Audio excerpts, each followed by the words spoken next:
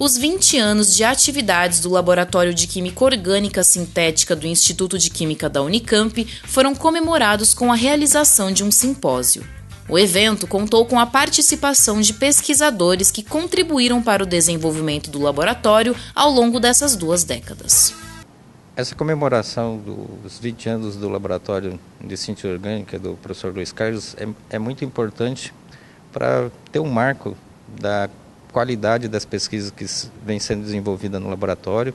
E são 20 anos que o professor tem feito pesquisas realmente bastante relevantes uh, para a sociedade, é relevante para toda a comunidade científica internacional e realmente comemorar uh, todo o feito nesses 20 anos é muito importante para a instituição, como Instituto de Química, porque ter um laboratório da qualidade é, do laboratório, das pesquisas são feitas nesse laboratório realmente engrandece o Instituto e realmente é um orgulho ter um professor dessa qualidade aqui na instituição para que realmente possa é, projetar o Instituto em nível internacional com a qualidade das pesquisas, com o impacto dessas pesquisas que são feitas no laboratório.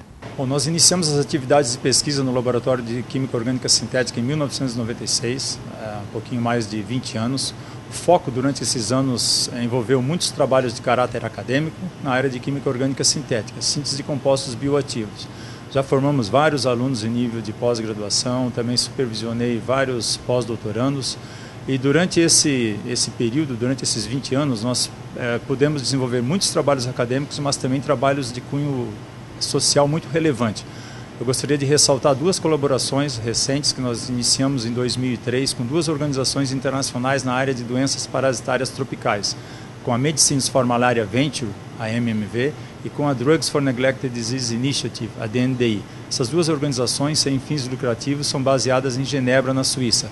O foco dessas duas organizações é desenvolver novos medicamentos novos candidatos clínicos para tratar doenças parasitárias tropicais, né? doenças negligenciadas, como malária, como doença de Chagas, leishmaniose leishmaniose visceral. Então, o nosso trabalho aqui no, no, Instituto de Química da Unicamp, no Laboratório de Química Orgânica Sintética, é preparar moléculas, enviar para testes em vários laboratórios de pesquisas eh, internacionais, em várias instituições acadêmicas e em vários eh, laboratórios de grandes farmacêuticas mundiais, como a Novartis, a Pfizer, a GlaxoSmithKline, a AstraZeneca, a AbbVie.